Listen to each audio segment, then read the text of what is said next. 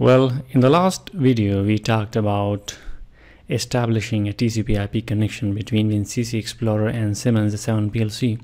Today, I will start from where we ended last time, and I will be adding the I.O. signals from Siemens S7 PLC, such as digital input and digital output signals in this tag management section of the WinCC Explorer.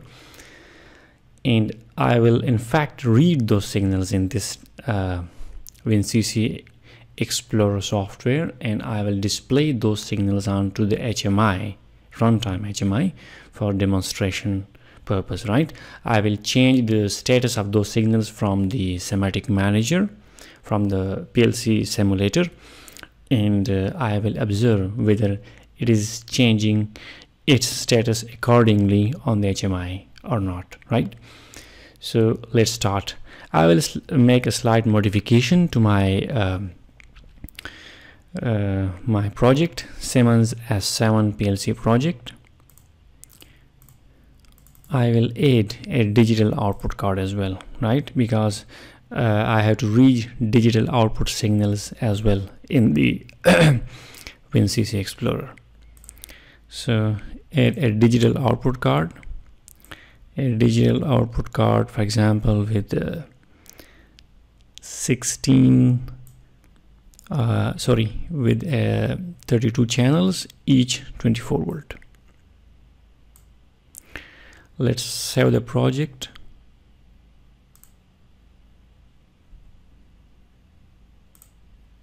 Stop the PLC and uh, download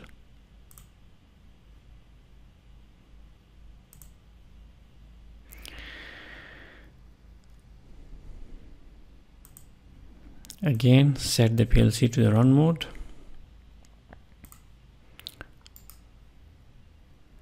And let me monitor the output card. Well the digital module has been updated in the project. Now let's go to the tag management section of the WinCC Explorer. Well if I go to the runtime for example I'm going to the runtime here. And uh, in the tag management section well it shows that a connection has been established.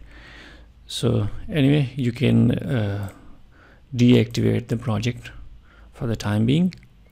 And let's add uh, a digital input signal and a digital output signal in the tag management section right? Well if I go to the hardware configuration of my project? Well i 0.0 i will be reading this first digital input signal of the digital input card right? Just for demonstration purpose just for example. And I will be reading this first digital output signal right? You can add any uh, as many signals as you want right let's go to the tag management section again. I will name it for example input underscore one. Well the data type is binary right? So binary tag. The connection name is connection one right? Through this connection between the WinCC Explorer and Siemens S7 PLC, we will be reading these uh, digital signals, right? So the address of the input signal which I'm reading is I 0.0, right? So input address is it is bit and uh, it is the zeroth bit of zeroth byte i 0.0 right? Click ok now for the output signal output underscore one the data type is binary tag the connection is new connection one which is this TCP IP connection. And the address is q 0.0 sorry q 4.0 right? And that's it. Now I can access these uh, input and output signals digital input and output signals onto the HMI the graphics designer and I will go to the runtime I will activate the project and I can observe the status of these signals from the PLC onto the HMI let me demonstrate it well just close this tag management section. Go to the, go to the graphics designer. Open the picture.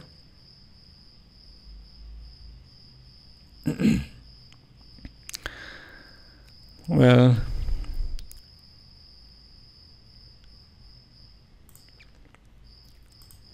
I will bring this uh, circle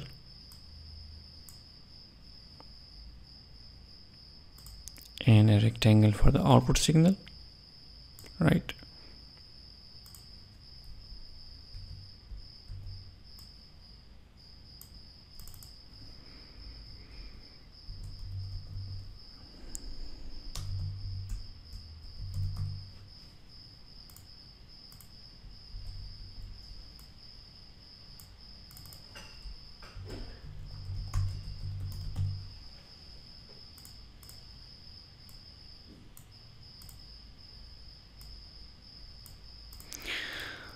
well if I click on the properties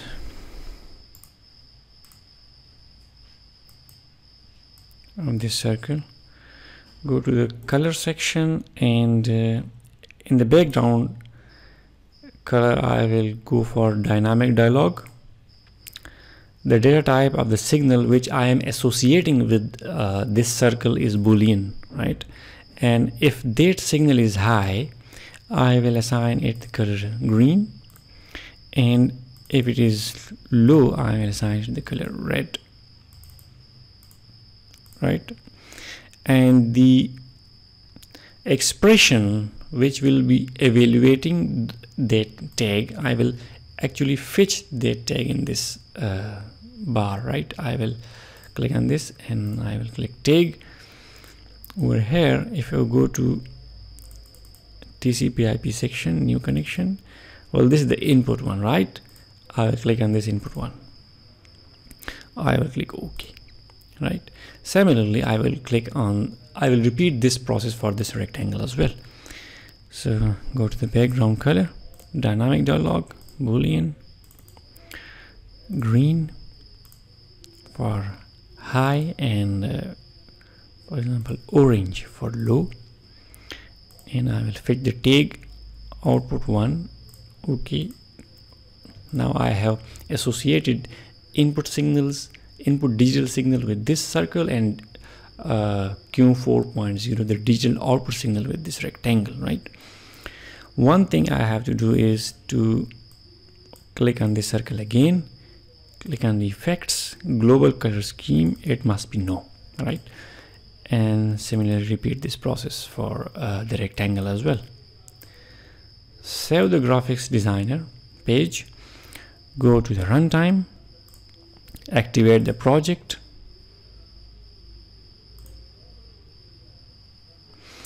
Now this is the runtime of my project.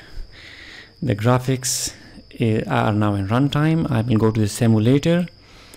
And uh, since I have designed it as that uh, if the input signal the i 0.0 is low this will be red right? And uh, for output variable if q 4.0 is low this rectangle will be orange. I have designed it like that. So now if i make the signal i 0.0 high upon change sorry uh, after two second delay it will be uh, green in color right? And q 4.0 green in color right? So this uh, two second delay is in the setting setting I will change it to upon uh, uh, upon change right? So that it uh, changes color immediately. Click on here event uh, it must be upon change. Okay repeat the process for uh, the rectangle one. Upon change. Okay. Save the project again. Go to the runtime. Uh, simulator. Oh, the changes will take effect after reactivating the project. So let me deactivate the project and I will activate the project again to observe whether the changes have been made. Simulator i 0.0 is high so this is green q 4.0 is high this is why this is green. And immediately upon making it low the changes will be uh, sorry the color would be changed accordingly immediately upon change right so that was the demo of how to uh, add the tags or digital input and digital output signal of PLC into the tag management section of the WinCC Explorer and later on show it on the graphics designer HMI in the runtime. So that's all for now. See you again in the next video.